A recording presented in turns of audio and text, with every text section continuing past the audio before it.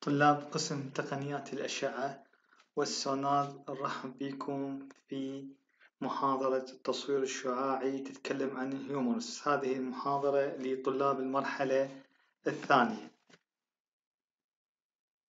بداية راح نتكلم عن ال objective نتكلم عن the position of humerus و describe the optimum technique. ونتكلم عن describe the clinical indication and evaluation criteria of humors عندنا position of humors the position of humors عندنا two position أولا AB position anterior posterior position والوضعية الثانية هي lateral position الوضعية الأولى AB anterior posterior position check the request card فيلم سايز 17 في 14 إنش length wise راح يكون بالطول الكاسيت. The marker right or left should be put on the upper corner of the film. Exposure factor كيف راح يكون؟ 70 والملي أمبير سكند 15 وال source image distance 100 سنتيمتر راح يكون grid راح يكون تصويرنا بال bucky. هنا يكون داخل ال chest stand if the patient has cast إذا ال patient عنده تجبيس راح نزود ال kV حتى تظهر الصورة واضحة. patient position. عندنا وضعيتين لل position مرة يكون erect هاي هي وضعية ال erect or supine يكون نايم على المنضدة ويكون هاي وضعية الهيومرز with the humors aligned to long axis of image receptor. تصويرنا إذا كان erect or supine لازم من نصور يتضمن تصويرنا both joint. يعني يطلع عندي بالتصوير shoulder joint وال elbow joint. يعني تصوير وضعية ال AP وضعية ال AP position إذا صورناها لازم يتضمن بال humerus يطلع عندنا ال elbow joint والشولدر جوينت collimation collimate on size to soft tissue borders of humors and shoulder هنا هذا الكوليميشن لاحظ هذا من الكوليميشن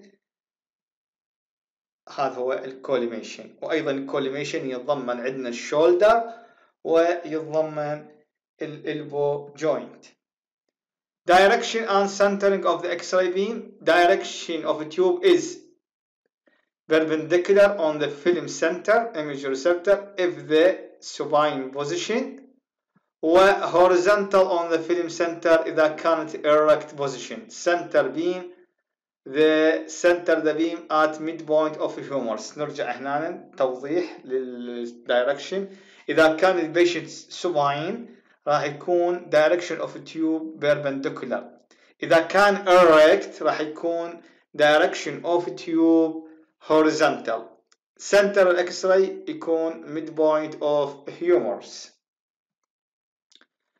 ها هي وضعية ال X راح تظهر عندنا بالأشعة ها هي ال AP مال ال humerus clinical indication fracture and dislocation of the humerus و pathologic processes uh, pathologic processes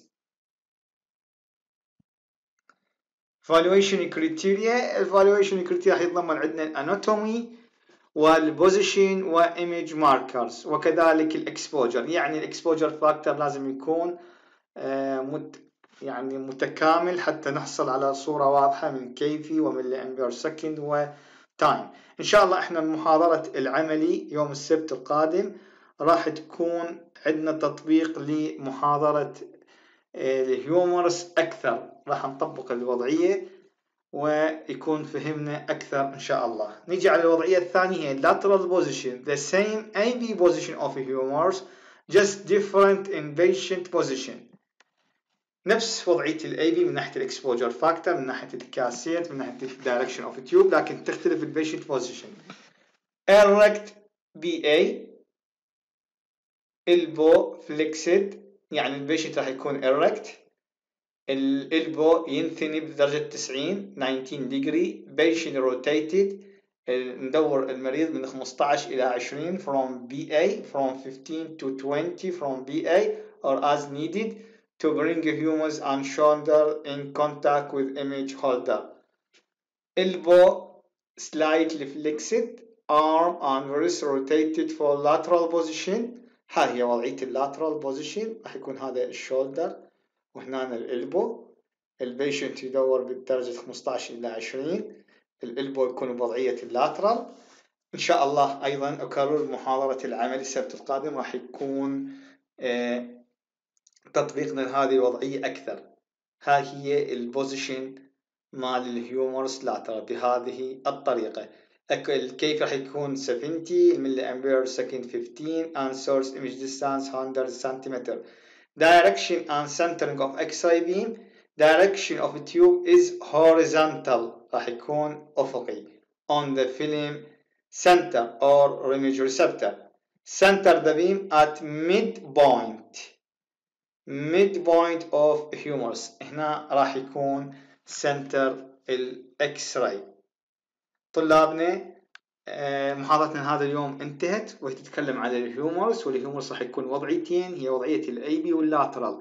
إن شاء الله محاضرة العملي راح يكون تطبيق لهذه الوضعية. شكرا جزيلا طلاب.